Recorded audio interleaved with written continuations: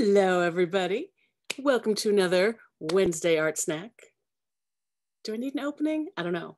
Wednesday Art Snack. Wednesday Art Snack. ah, welcome, welcome, welcome, welcome. Um, I am here today, uh, today's Art Snack, to give you a little uh, pep talk about portable art. So, what do you do when you're too tired to create something, or maybe you've got something bigger that you're working on and you don't feel like dragging out all your supplies, um, but you want to keep your creative practice up? You don't want to lose your creative momentum, your creative mojo. What do you do? Well, I'll tell you what I do. So, this is um, a little bag of my own design. It's one of my paintings. Um, but it's a zipper pouch and I don't know, eight by 12 or something size. I don't even know. But in this little zipper pouch, there's all kinds of goodies. It's kind of a to go bag. And these are all great portable art supplies. So the first thing I've got is this nifty little journal that I love, love, love. Um, it's called Bee Creative. I don't know what the brand is, but I'll put a link in there. Um, BEE Creative Heavyweight Draw. I don't know, but it's this nice little compact size, this journal, and I, I painted the cover. Um, and it's just this easy, accessible little book and it's got these nice beefy pages that I like. Um, so I, if I just feel like sketching with pencil, I can do that, but it will also stand up to watercolor, um, water media. So also in here, I've got another zipper pouch, which has got some pencils and erasers. It's really messy in there, some graphite. Um, which if you don't want to get too messy, you know, you might not want to use that stuff. Um, well, pencils are fine, but the graphite kind of gets everywhere. But I have to tell you, I do this um, sitting on my couch sometimes. I just have some supplies out on my uh, my coffee table right in front of the TV. And sometimes I'm tired at the end of the night and I just pick up uh, one of my sketchbooks and I start start working in it. So I've got this nifty little set of watercolors, koi watercolors. It's a travel pack and it's got this cool little brush that you can fill if you're on the go, you can fill it with water and and just squeeze it out.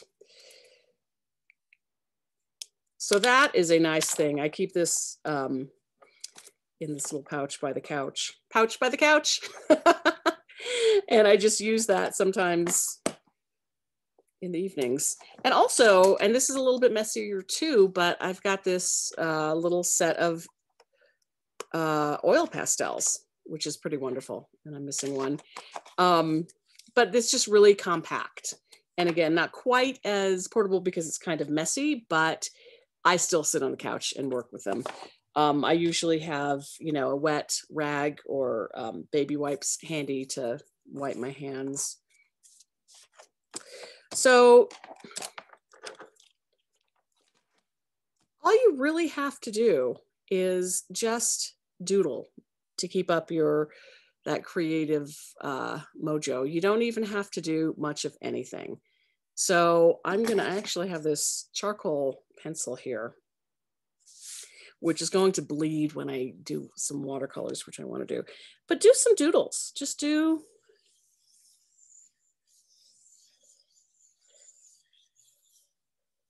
some little doodles. Let your hand wander, pull your whatever it is along. This is charcoal. You can use pencil marker, pastel, oil pastel, crayon, whatever you want to use. Just have fun with it. And sometimes what I'll do is I'll just do a little sketch like this and, or a little doodle, I should say. It's not, not very sketchy, but it's very doodly. I love doodles. And then I'll just take, um, I'm pull out a different brush. I don't feel like busting out that one.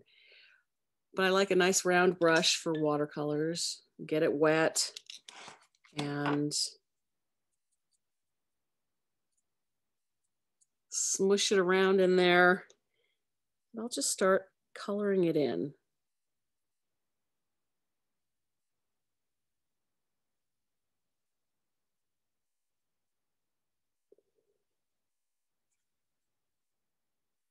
And in this case, I really like how the charcoal just smudges ever so slightly and sort of darkens the edge.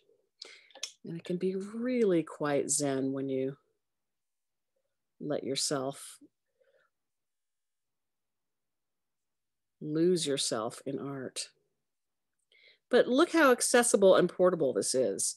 I mean, all you need, in addition to something to paint on and a little watercolor set, all you need is uh, a little jar of water. And I just use an old, whatever food used to be in that jar. You can use anything. And like I said, I do love a nice round brush for watercolors. And this is, I honestly, look, it's a pencil on one end and a brush on the other. I like cheap brushes. I just do. This one was from the Denver Art Museum. I like to get little affordable souvenirs when I go to a, an art exhibit just to remember them by. And this is a great one because I can use it. I've actually gotten a watercolor set at a museum before for like 12 bucks.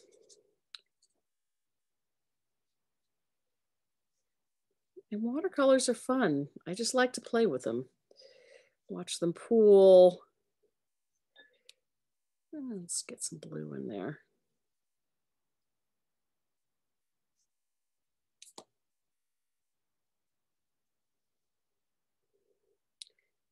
And it's really nice because you can be completely aimless with this. I've got no goal other than to watch the paint swish around and it's still keeping me in my creative practice.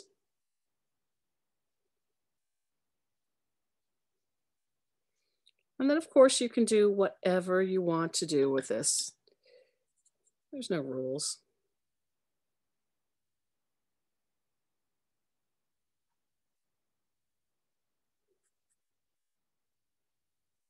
So that is my advice. Get a little sketchbook.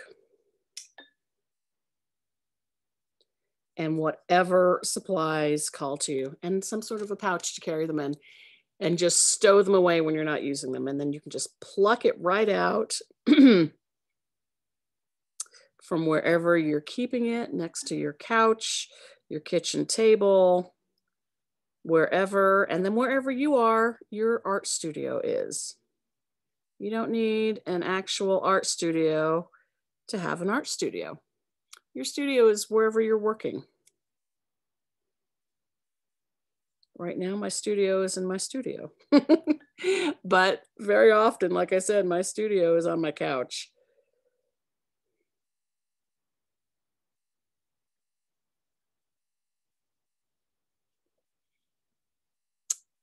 All right. That's all I got. If you have other tips, what do you do to keep up your creative practice when you're not feeling creative? Let me know in the comments. And I will put some links if you're interested in these supplies. And I'll tell you, they're affiliate links. So if you click on them and buy something, even if it's not the supplies I suggest, I get a tiny commission. So you're supporting an artist. And I do appreciate that. All right, gang, that's it. I see it's so hard to stop painting. It's so hard to stop painting. All right, stay creative and I'll see you soon. Bye.